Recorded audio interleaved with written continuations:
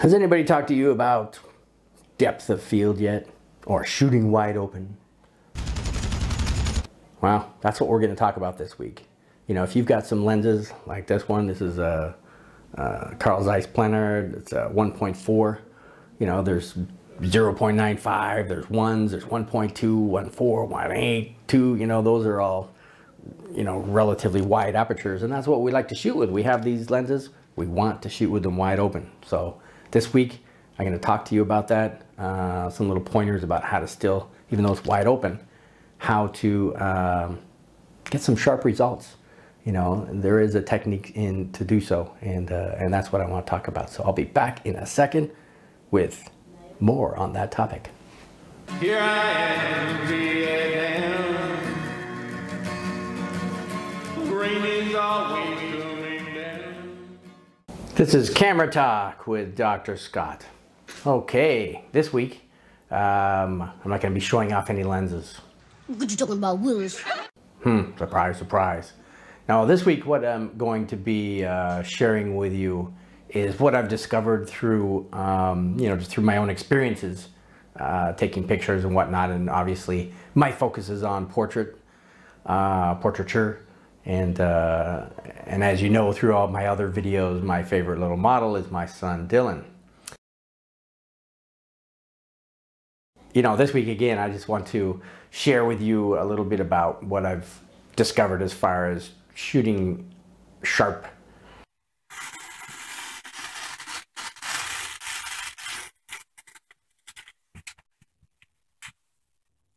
That's sharp. photos. Now, when it comes to portraiture, when it comes to sharp, it, you know, again, it's kind of subjective as to what the uh, what the photographer, or if the subject is a, a paying client, Yay! you know, what they have in mind as far as uh, what expectations are, uh, you know, for the end results. And of course, like you know, like I just said, I'm usually shooting mostly pictures of my son, so he's not uh, he's not too demanding, you know, even though he's demanding outside. I don't know if you can hear him. To either feed him or play with him, or who knows, you know, what what he's thinking. But still, uh, so what I'm looking at this week are a number of different pointers for you know trying to get the you know the sharpest uh, photos as possible. And again, it's from my own perspective, of course. Um, you know, and as you know, I'm not a professional photographer, but as an enthusiast, you know, I still want the best, uh, the best that I can, I can uh, produce. So I'm going to go through a number of different pointers, and uh, again, mostly addressing what I have experience with, but uh, you know, I mention other things too, like uh, as in regard to the very first point. Um, you know, I, as you know from all my other videos, I shoot with uh, Sony um, A7R2 and it's a full frame mirrorless camera. And I mostly use vintage lenses in, in that regard too, which are all manual focus. So um, that's gonna really be from the perspective that I'm, that I'm uh, describing this as. But I will mention, of course, obviously, the options that are out there. So with that said, um, you know, the difference between uh, you know, sh shooting sharp photos with a uh, mirrorless versus a DSLR, which has a mirror, um, that you know you have different options with your with your camera itself. So with the Sony here, I have an option to use what they call focus peaking.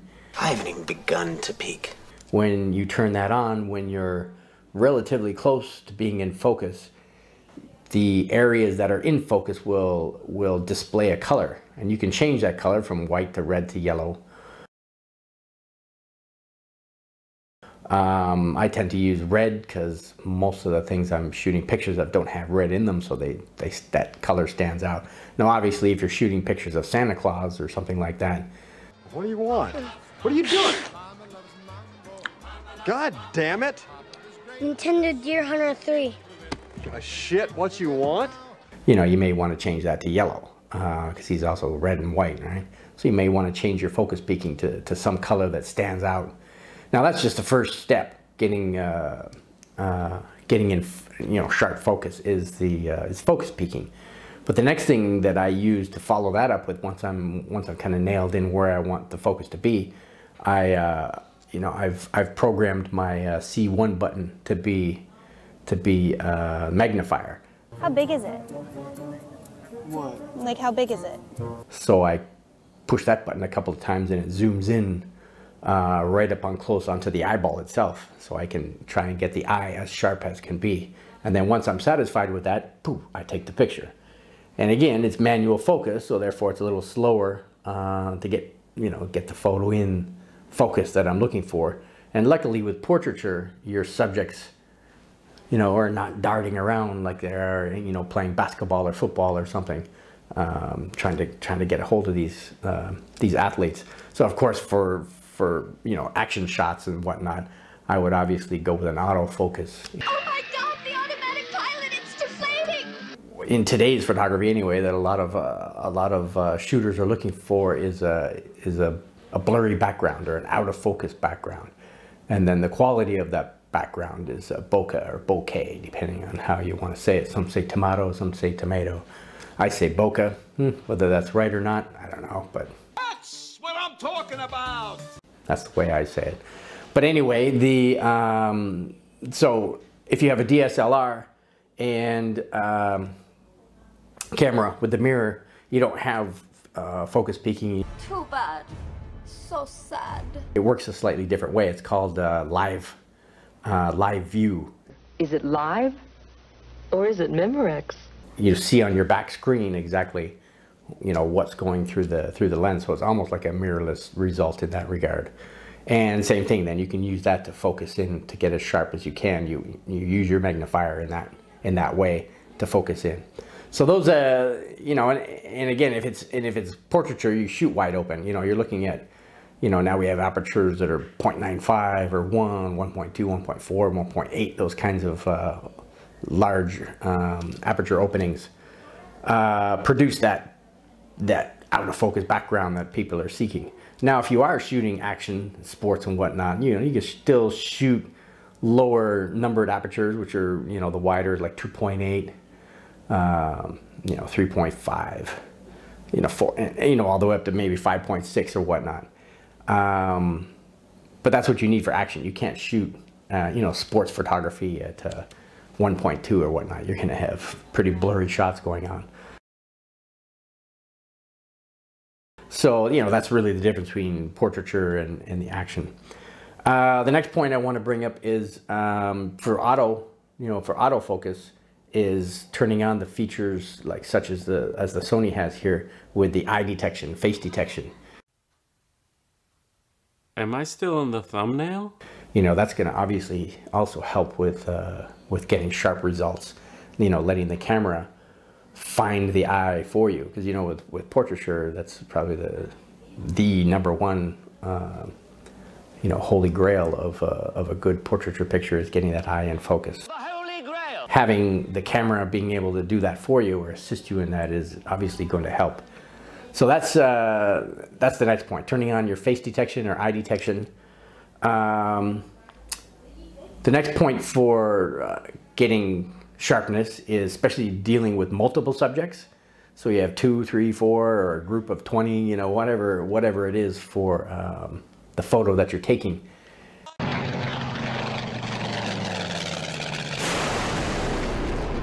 If you still want that shallow depth of field and sharpness, your, um, your subjects have to be on the same plane, as in turn sideways from me to you, a straight line, so to speak, except turn this way. So if you have five people, you need them all to be on that same, that same uh, focal plane.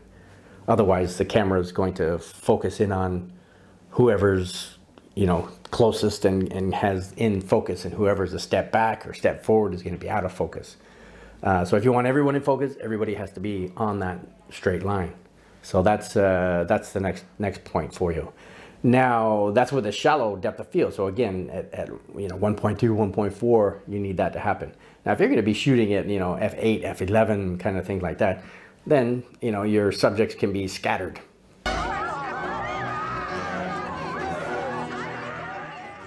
You know the further the further you are away, um, from them, the uh, you know the the depth of field doesn't doesn't matter so much in that regard. You know, but if you're up close, and that kind of that, so it's two points in one here kind of thing. So getting people lined up properly and how close you are or how far you are from your subjects is going to make a is going to have an impact on your on your sharpness.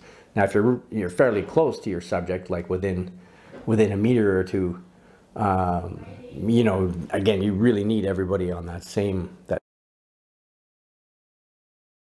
focal plane to get them get them in focus. Uh, so as I said, if you want to stand further back, you know, you're you know 10 meters, 20 meters back, uh, it's not going to be as critical to have everybody have everybody in a line like that uh, because it affects your your uh, depth of field. Um, you know, lastly, uh, what I want to talk about is the uh, just really knowing knowing the the lens too. If you have enough experience with your lenses, you know where that sweet spot is. Sweet. You know, as to you know, not every single lens is going to behave the same way. You know, the different different uh, manufacturers use different uh, different formulas, different uh, you know, different uh, construction of the lens and whatnot. So just because one method works for one uh, version of, let's say, a, a 1.2 um, aperture, doesn't mean they're all going to uh, work the same way.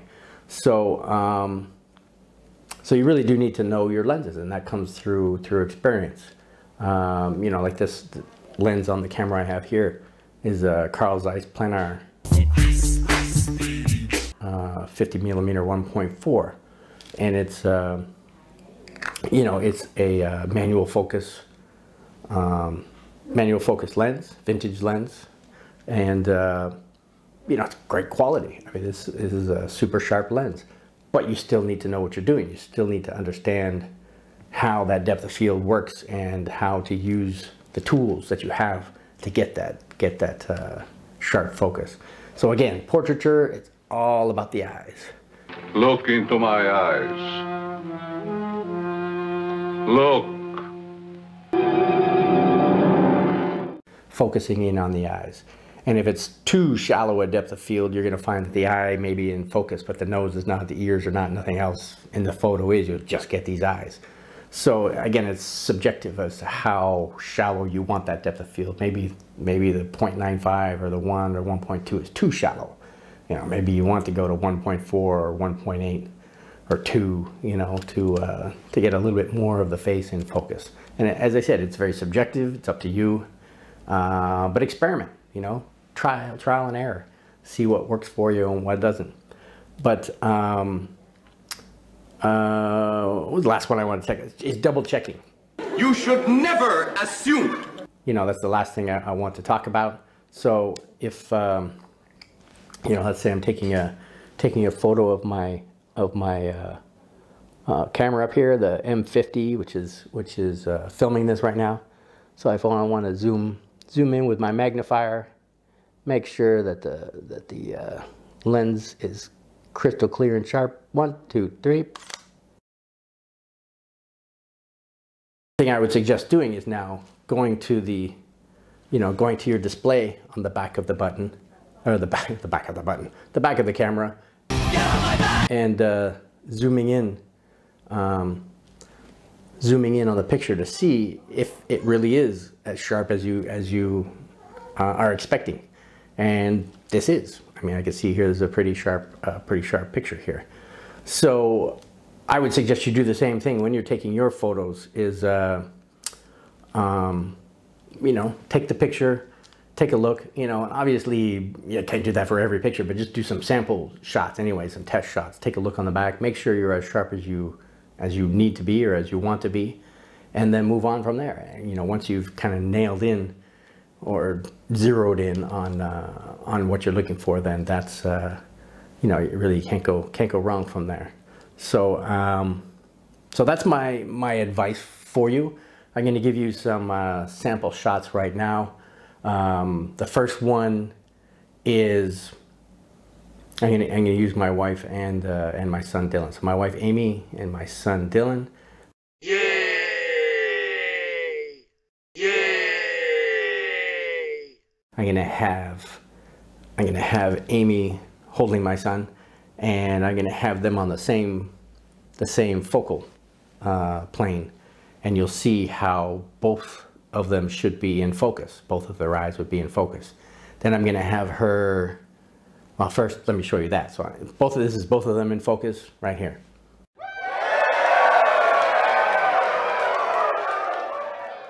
Okay. Now next one I'm going to have um, I'm going to have Amy kind of turn this way and, and put Dylan in front of her. And I'm going to focus in on one or the other. I'm going to focus in either on Dylan's eyes or on Amy's eyes, and you'll see the other person is going to be out of focus. So I'll show you that one right now.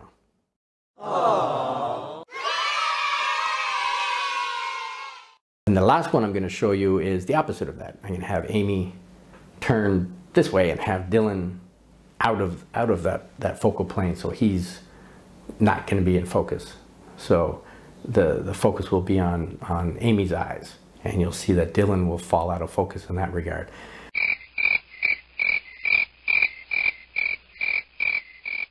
And that's that's how really as simple it is when you're dealing with with uh, shallow depth of field. It's just a matter of of a you know of a few centimeters, or for those in America, inches. You know, a few inches here or there, forward, backward, puts people out of puts people out of focus. And even individually, you know, if you've focused in on somebody taking a taking their picture, and they smile and they're ready for their photo, and then they adjust themselves a little bit, and they might lean forward by an inch or two or a few centimeters, or back either way, and now they're out of focus. So you always need to be checking that focus up to the last second before you take that take that photo to make sure that uh, your results are going to be what you're expecting. All right, so that was uh, hopefully um, a short and sweet video for you this week. I know most of mine tend to go on for half an hour or so. so hopefully, you know, this is something that I, you know, again, I can share with you and hopefully you learn from. And, uh, you know, we'll, we'll go on from there and, and uh, get back next week into uh, some vintage lenses so I can introduce you some to some more stuff. Because, you know, at Modesty Photography here, it's all about saving you money, simplifying processes, uh, sharing experiences, and, um, you know, life is great from there. Uh, oh, share a little, uh, little something about myself that just happened this week too. Is I, uh, you know, at my university, I won a, uh, a teaching award for outstanding contributions for uh, for 2020. So yay, good for me. Um, you know, get, win myself some uh, education money that I can use for research and whatnot. So anyway, a little kudos for me, pat on the back. Good job, Dr. Scott.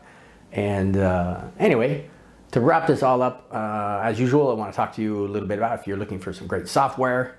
Uh, Luminar is an option that uh, you know you get Lightroom, you get you know Photoshop, you can Capture One. You know, it's all kinds of uh, uh, software out there. But but Luminar is great because it's kind of it's got some tweaks and elements to it that the the others don't either don't have or they don't do as well as as Luminar does. So that's why I use it, and it's also very economical. As I said, this is modesty photography, and it's all about saving you money. So if you click on the link down below, you'll save yourself ten dollars from something that's already economical. So hey, why not? And kick back a little something for me um, for putting these videos together for you, and um, you know, as I said, I, I can't talk highly enough about it. It's a great bit of software. They're coming out this year with an AI element. They already have an AI element in this version of, of Luminar, but they have an additional one that's uh, much more robust and uh, you can totally replace skies and everything else. Um, but the, the software is rumored to pretty much be intuitive as to what it thinks would be best for your style of photography.